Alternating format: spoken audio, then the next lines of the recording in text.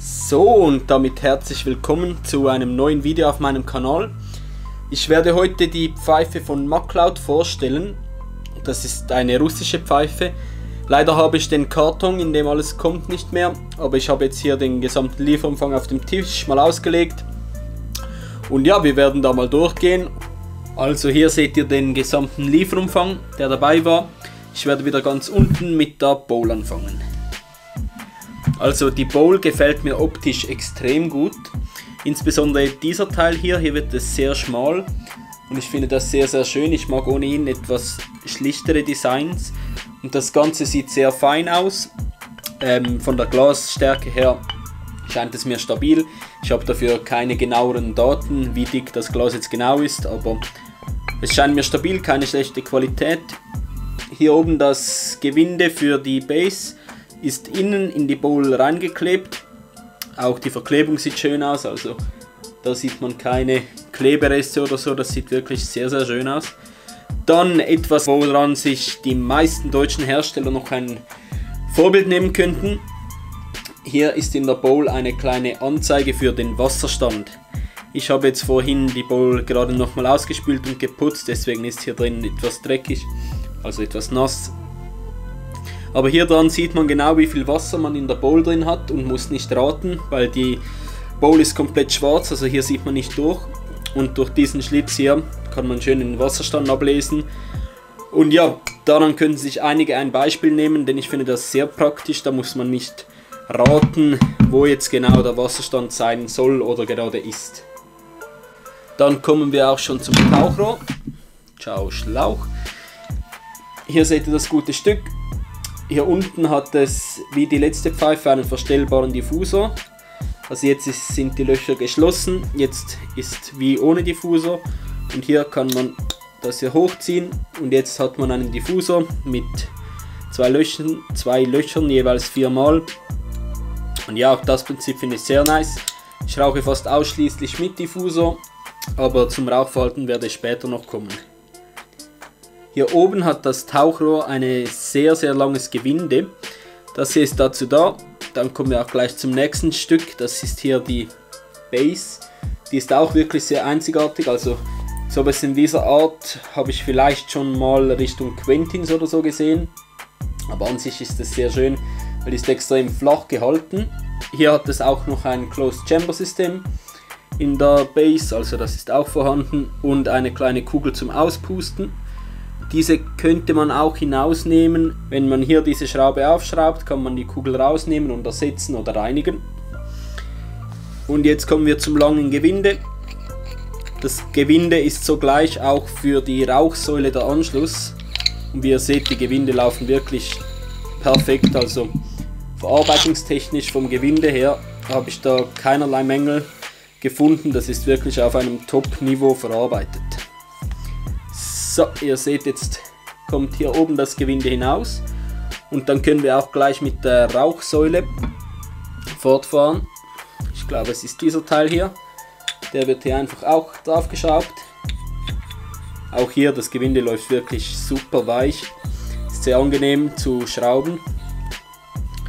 So und dann kommen wir auch schon zu dem was die Pfeife so speziell macht. Und das ist dieser Bär hier. Viele haben gedacht, es sei ein Molassefänger, als sie ihn auf Bilder oder in Videos gesehen haben. Aber das Ganze ist, hier seht ihr, offen in der Mitte. Da wird dann einfach ein Rohr durchgehen, das zeige ich gleich. Und das Ganze ist einfach nur rein optisch.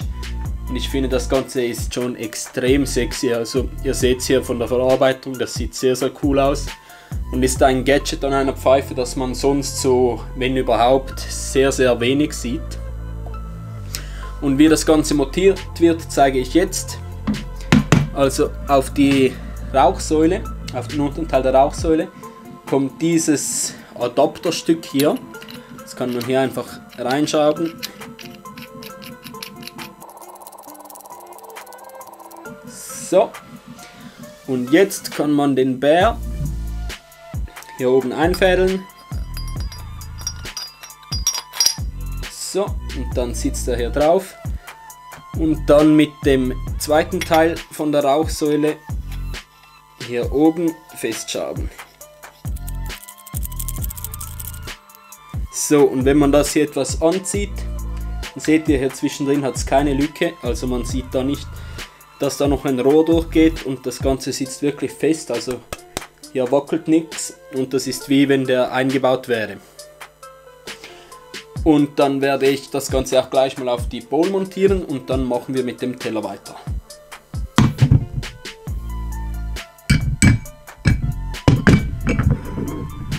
Hier die Base ist mit einem Grobgewinde auf der Bowl montiert. Hier reichen zwei, eineinhalb Umdrehungen und das Ganze sitzt fest. Bevor wir doch noch zum Teller kommen, hätte ich beinahe etwas Wichtiges vergessen. Das kleine Stück hier ist der Schlauchadapter. Der wird hier einfach direkt in die Base reingeschraubt und dann wird der Schlauch ohne irgendwelchen Schliff oder so direkt hier eingesteckt. Ja, das zeige ich euch dann, wenn es soweit ist. Und hier seht ihr noch den Teller. Also es spiegelt jetzt etwas. Aber ihr seht, hier ist das MacLeod Logo drauf. Und der Teller hat wirklich eine gute Qualität, also der ist sehr stabil, auch aus Edelstahl. Und hat eine sehr schöne Form, auch ganz schlicht gehalten, mit einer leichten Wölbung am Ende und auch nicht zu groß. Also er passt genau hier unten bei der Bowl, passen die Durchmesser, die stimmen überein, dass es sehr symmetrisch aussieht. Lege ich den mal oben drauf. Und dann am Schluss noch den Anschluss für den Kopf. Hier ist eine etwas andere Dichtung als bei deutschen Köpfen mit dabei. Hier seht ihr ist ein kleiner Gummiring auf dem Anschluss für den Kopf und wenn man diese normale Gummidichtung drauf macht, dann seht ihr, steht hier so ein kleiner, ein kleiner Hügel raus und ich finde das Ganze sichert den Kopf wirklich gut. Also man hat dadurch etwas besseren Halt bei den Köpfen durch diese kleine Ausbuchtung hier. So, und dann kommen wir noch zu den letzten zwei Stücken, bevor wir damit rauchen können. Hier war ein Schlauch und ein Mundstück dabei. Ich nehme das Mundstück kurz weg vom Schlauch. Das hier ist ein Alu-Feinliner Mundstück. Es ist ähm, silbern lackiert mit noch kleinen Sprenkeln drin, also es glitzert noch etwas im Licht. Ist wirklich ein solides Mundstück, also hier nichts Außergewöhnliches, aber es liegt gut in der Hand durch diese Griffe hier. Und dann war noch ein dazu passender silberner Silik Silikonschlauch mit dabei. Das war einfach ein Standard-Silikonschlauch, der auch hier in Deutschland und der Schweiz verwendet wird. Und wenn wir jetzt das Ganze hier montieren auf der Base, dann kann man den Schlauch einfach hier reinstecken. So, das geht wirklich easy. Und dann hält das auch. Und so hat man kein Problem, dass Schliffe hinausfallen oder so und ich finde diese Art von Anschluss wirklich angenehm. Ich habe auch keine Probleme mit Abknicken oder so, aber dazu kommt dann mehr beim Rauchen. Ich werde jetzt noch Wasser in die Bowl einfüllen. Ich fülle mit offenem Diffusor, meist so bis in die Mitte von dieser Anzeige hin. Für mich ist der Durchzug dann am besten. Und ja, dann baue ich mir ein Köpfchen und wir sehen uns beim Rauchen wieder.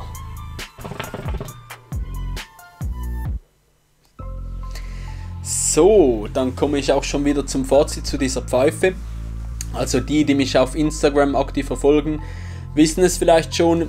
Ich feiere diese Pfeife übelst. Also die ist wirklich im Moment eine meiner Top 3 Pfeifen, die ich besitze. Ich werde zuerst etwas über das Rauchverhalten sagen. Also das Rauchverhalten überzeugt mich wirklich komplett. So wie ich es vorhin gezeigt habe mit geöffnetem Diffusor, also den zwei Spalten frei. Und ähm, hier etwa bis zur Mitte der Anzeige Wasser eingefüllt, läuft das für mich top. Also ein sehr, sehr angenehmer Durchzug. Auch das Anzugsverhalten ist top. Durch das Closed Chamber System kann man auch perfekt auspusten, also da leert sich die Bowl gleich bei einem Pust. Da auch hier unten ein sehr kleines Volumen ist durch den schmalen Hals. Auch verarbeitungstechnisch habe ich da wirklich nichts auszusetzen. Also die ist wirklich super verarbeitet, die Gewinde laufen top, die Materialien sehen alle gut aus, auch der Bär hier, das kleine Highlight der Pfeife, sieht sehr schön verarbeitet aus und macht wirklich was her. Optisch ist halt wie immer Geschmackssache, aber ich feiere die Pfeife extrem, also sie gefällt mir sehr sehr gut. Ich finde es schön, dass sie trotzdem kleinen Extra hier noch sehr schlicht gehalten ist, also ansonsten ist sie nicht so spektakulär gestaltet. Sie ist sehr straightforward designt, also alles schön gerade, keine Schnörkel drin und dann dieses Highlight hier in der Rauchsäule. Ich finde das designtechnisch wirklich sehr schön. Aber ja, ich habe auch schon von Leuten gehört, denen sie nicht so gefällt. Die fanden den Bär hier in der Mitte etwas too much, aber ich finde, er passt super hier rein. Ich nehme mal nochmal einen Zug.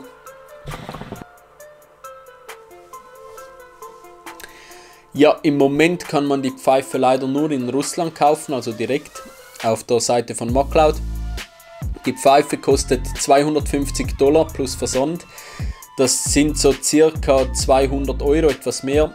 Und ich finde, für diesen Preis ist die Pfeife wirklich sehr gut. Wenn man so vergleicht, was man hier in Deutschland für diesen Preis bekommt, ist das wirklich schon eine Ansage. Ich würde jetzt noch warten, bevor er die Pfeife in Russland bestellt, denn da gibt es meistens Probleme mit dem Zoll, da muss man noch Zollgebühren draufzahlen und so. Aber ein, Herrsch ein Shop hat mir einen Tipp gegeben, dass es sie eventuell bald in Deutschland auch zu kaufen geben wird. Also wartet da noch etwas, bevor ihr sie euch kauft. Vielleicht könnt ihr sie auch bald ohne Zollprobleme hier in Deutschland kaufen.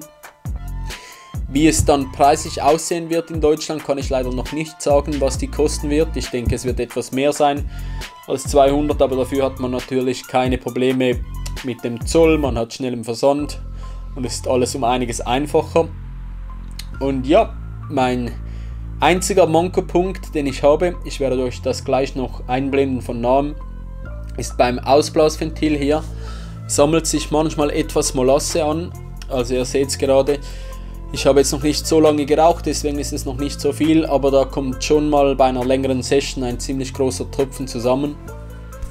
Aber ja, den kann man einfach abwischen mit einem Tuch und dann passt das. Auch die Gewinde hier oben sind bei mir dicht, also hier tropft keine Molasse raus oder so. Und ja, die Pfeife kann ich wirklich nur weiterempfehlen. Es ist mal etwas Neues, nicht das Standardzeugs. Sie gefällt mir sehr gut, ich rauche sie sehr gerne. Lasst mich doch mal in den Kommentaren wissen, welche Pfeife das ich als nächstes zeigen soll, was euch interessiert. Lasst doch auf dem Video ein Like da, wenn es euch gefallen hat. Über ein Abo würde ich mich natürlich auch freuen. So verpasst ihr keine neuen Videos. Ich weiß jetzt noch nicht genau, in welchem Abstand das ich hochladen werden kann. Ich muss auch immer schauen, ob ich etwas Interessantes zum Zeigen habe. Aber ja, ich freue mich über jeden Kommentar und wir sehen uns dann auch schon wieder im nächsten Video.